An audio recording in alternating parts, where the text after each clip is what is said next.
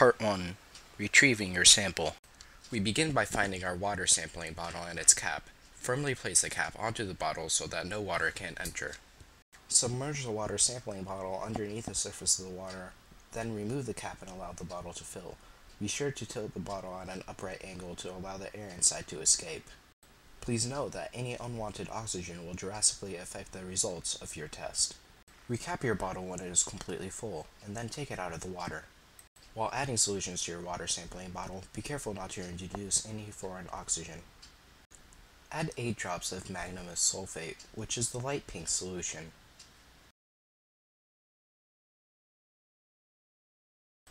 Then, quickly add 8 drops of alkaline potassium iodide azide, which is the clear solution.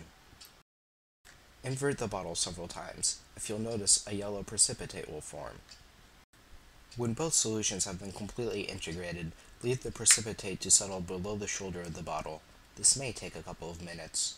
The top should be clear and the bottom should be a yellow-orange. When your precipitate has been completely settled, proceed to add 8 drops of sulfuric acid. Your sample should now be completely orange with a few reddish fragments. Invert your bottle repeatedly until those fragments dissolve. Note that with more dissolved oxygen, the more orange your solution will appear. Part 3. Titration. Pour the solution that you have prepared in Part 1 and 2 into the titration tube until the 20 milliliter line. Take your titrator, which is your needle-like object, and ensure that is completely depressed below the 10 milliliter mark. Firmly insert the titrator into the thiosulfate container. Flip the container and extract exactly 10 milliliters. That means that the titrator should be full until the zero line at the top. Insert the titrator into the titration tube. Titrate at one drop at a time. Your goal is a palish yellow color, not clear. Do not make the mistake of disposing the remaining thiosulfate solution inside your titrator. Instead, place the titrator aside for now. Do not empty or depress.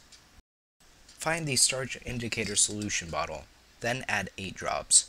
Your solution will turn blue. Dissolve thoroughly. Pick up your titrator again. From that point you may continue titrating. If your titrator empties, refill the zero mark with the thiosulfate solution and continue titration. Every time your titrator empties, then you have used 10 milliliters of thiosulfate solution. Your goal is to make the blue solution clear.